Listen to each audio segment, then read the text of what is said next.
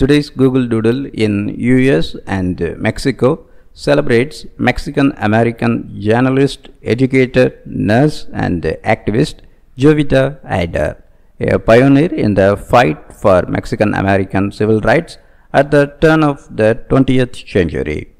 During the first Mexican Congress, which met the week of September 14 to 22nd in 1911, Idár was elected president of the League of Mexican Women, a feminist organization ahead of its time in uniting women around the critical educational, social, and political issues facing the Mexican American community. Jovita Idár was born in the border city of Laredo, Texas in 1885 at a time when Mexican Americans faced rampant discrimination in the state.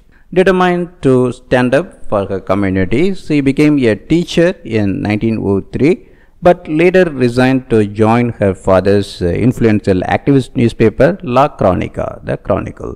Through her articles, Idár spoke out against discrimination, fought for women's suffrage, and affirmed the importance of Mexican culture. In 1911, she and her family helped establish the first Mexican Congress to organize Mexican Americans across Texas in the fight for civil rights. Building upon the female participation in the Congress, Idár then founded the League of Mexican Women and served as its president. In 1914, Idár continued her groundbreaking journalism career at El Progreso, the Progress newspaper. Never afraid to make her voice heard, she expressed her criticism of the US Army's involvement in the Mexican Revolution in an editorial, which resulted in an attempt by Texas Rangers to shut the publication down. When officers rode up to the El Progreso office, Idár stood in their way and forced them to turn back, a scene recreated in today's Google Doodle artwork. Despite Idár's bravery, the Rangers returned the next day and shut down El Progreso.